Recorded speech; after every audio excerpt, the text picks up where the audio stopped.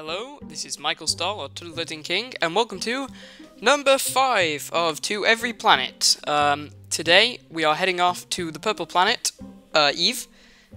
It is slightly larger than Kerbin, so we're going to have to pack for...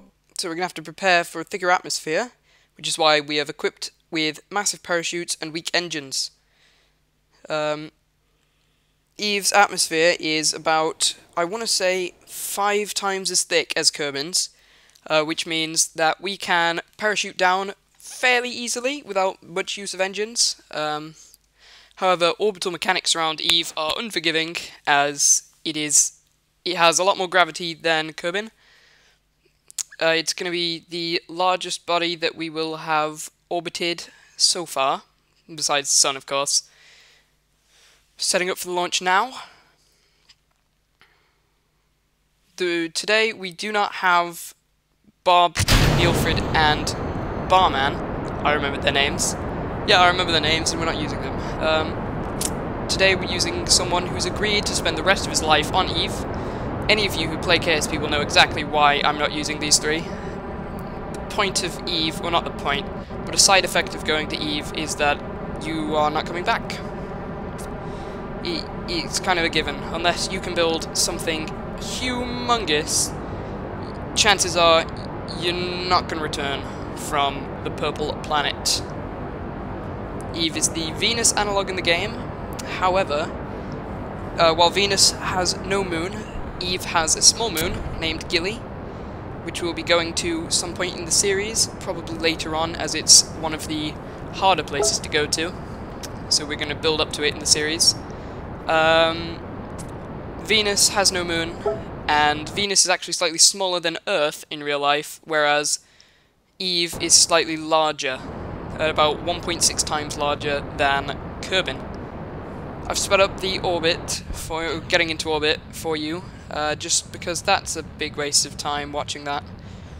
Uh, if anyone's noticed, if anyone's watched my newer videos, I am trying to cut down on time in the videos so that everyone can watch it all the way through because I know I've had complaints like, oh, your videos take like 35 minutes and they take ages. So I, I listened, I listened.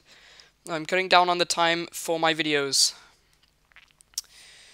So we've coasting up to the apoapse now at 55 kilometers. Nearly reached space.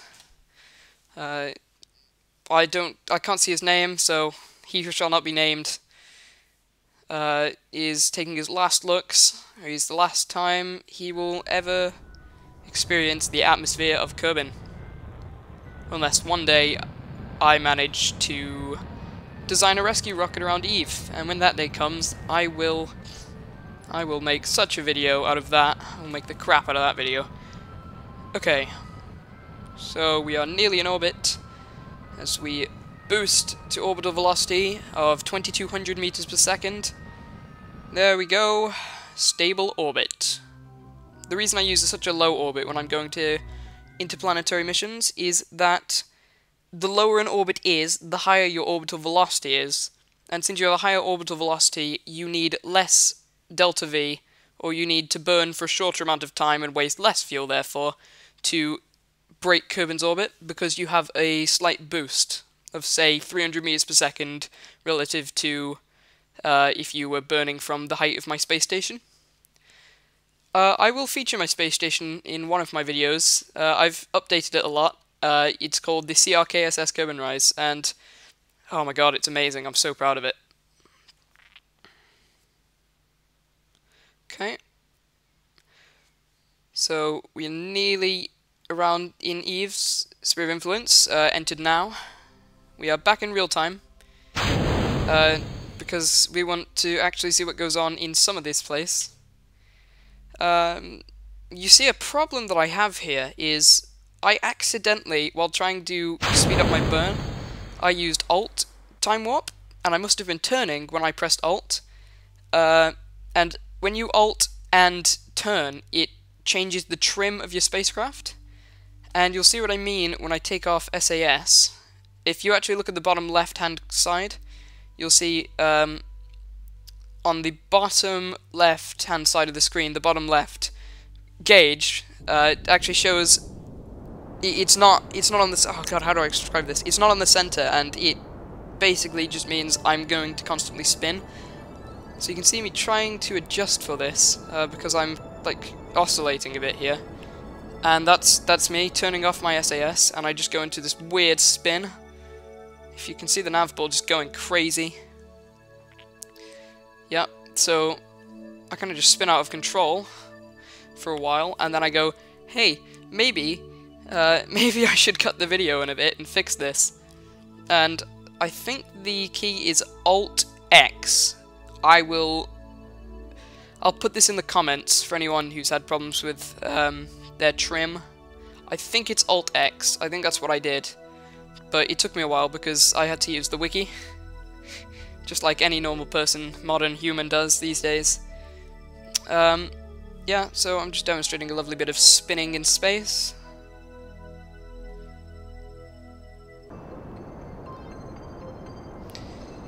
You see the orange line there is where is the point that we are entering Eve's sphere of influence. And I fixed I fixed the spin now. Uh, just kind of coasting in, getting ready.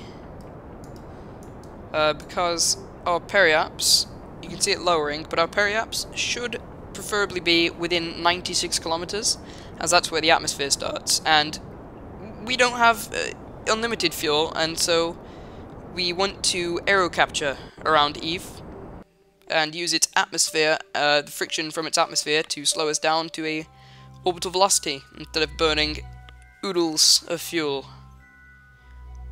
Lovely solar eclipse there. Evo solar eclipse.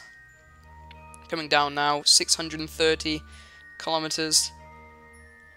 And we are in the atmosphere.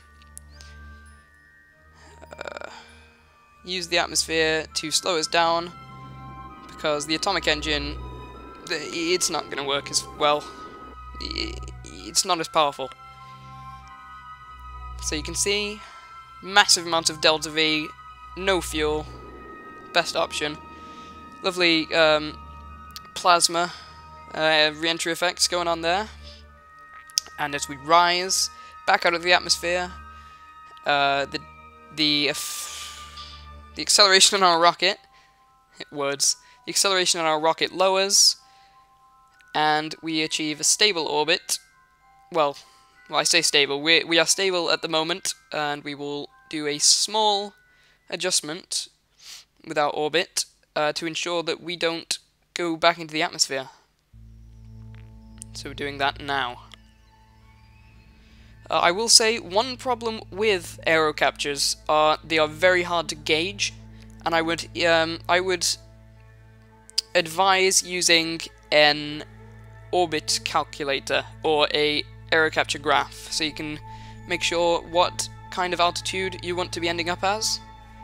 Because most of the time when you do this you will uh, probably go too deep in the atmosphere and uh, end up just hitting the surface. Um, that, that's a lot easier to do than you'd expect. Um, you don't you, you don't have to go into the atmosphere as much as you'd think. It's surprising how effective the atmosphere is at slowing you down. Um, so just showing how far we've come in 8 minutes and 30 seconds. 9 minutes. Orbital ballet there. Um, just setting up the solar panels so that we don't run out of fuel. And we are going to have a small inspection of the spacecraft by good old what's his name? Kerman? Good old what's his name? Uh, he has a bit of a, uh, a spaz moment. Can I say that on YouTube? I don't know. Uh, but he has a bit of a, uh, a episode. and he flies away from the spacecraft uncontrollably. There you go. Look how happy he is. Yeah, well, you're never coming back to Kerbin. We didn't really tell him that when we launched, so, uh, oops. Okay, checking the fuel levels now. Uh, before we head down to the surface of Eve, everyone. Now, uh, I may never have told you before, but Eve and I are not the best of friends. Eve and I don't get along very well. Uh, it's a mutual dislike, really. Uh, Eve's atmosphere goes, hey, that's not going to work, so I'm going to ruin this for you. And I go, fine then, Eve, so I'm just going to smash into you as fast as I possibly... I mean, it's, it's a hate-hate relationship. There's no love. It's a nice colour, though, so I guess, you know. But yeah, if you are planning on going to Eve, be very well prepared. Um, I would advise uh, relying on parachutes instead of rockets to slow you down, uh, due to the high gravity and high atmospheric pressure. Um, it's kind of the theme of Eve is the atmosphere, and uh, so the point of this outpost here is to see how close we could get to the seas without actually landing in them. Um, and we land fairly close. Uh, you see here, though, the, these rockets, due to the thick atmosphere, I'm just swiveling, pivoting on an axis. I'm trying as hard as I can to give any boost towards the ocean, because that that's quite a distance. That That's about 10 kilometers. So we don't make it close enough to actually include walking in this episode, but I'm sure in another episode I will feature the oceans of Eve. Uh, parachutes are opening now, as we go into a real-time landing, as always. Uh, we come into real-time landing, and you can see just how just how effective eight parachutes really are on Eve. They are much more effective than any any rocket ever would be, except well, possibly the massive three meter engines, but that's not the point.